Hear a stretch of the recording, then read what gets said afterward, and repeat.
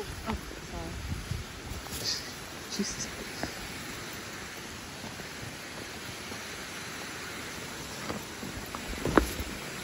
I don't want to clean your paws, no. That's cool.